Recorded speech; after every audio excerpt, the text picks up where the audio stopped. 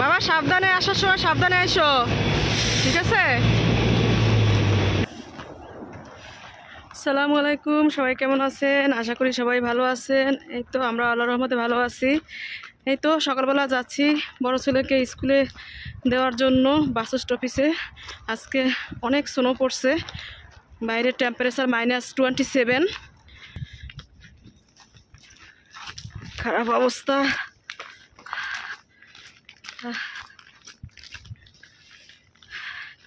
Minus ফিফটিও হবে কয়েকদিন গেলে। এই যে বরফের স্তূপ পরে আছে, রাস্তা ক্লিন করে একদম উঁচা করে রাখছে। এই যে গাড়ির অবস্থা। গাড়ির উপর পরে সাদা হয়ে আছে। আমরা খুব সাবধানে হাঁটতেছি, মা ছেলে।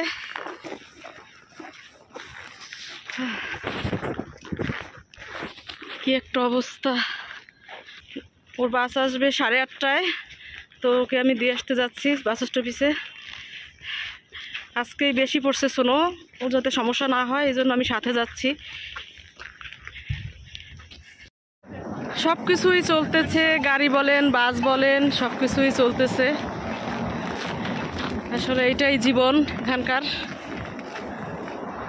এখন দাঁড়াইছি রাস্তা পার হওয়ার জন্য। আমাদের বাসা থেকে পাঁচ মিনিটের রাস্তা। আসো আসো আসো রেহান আসো। ছেলের বাস চলে আসছে। সবাই দাঁড়াই আছে বাসে ওঠার জন্য।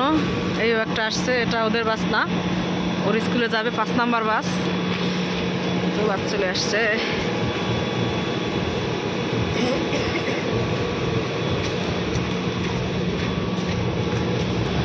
যাও বাবা উঠো।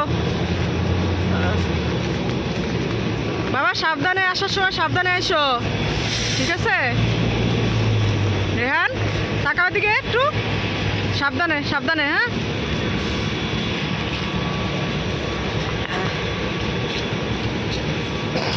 মোবাইল বের করো।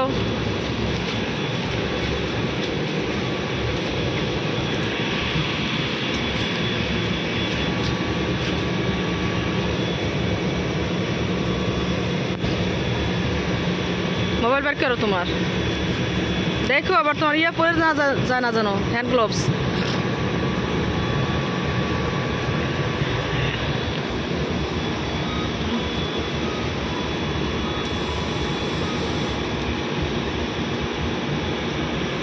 সবাই প্যাকেট হয়ে বেরোইছে বাসা থেকে, সোনো বুট, সোনো স্যুট টুট পরে বেরোইছে। রেহান বাই বাবা। ছেলে বাসে উঠে গেল। এখন আমি বাসার দিকে যাচ্ছি।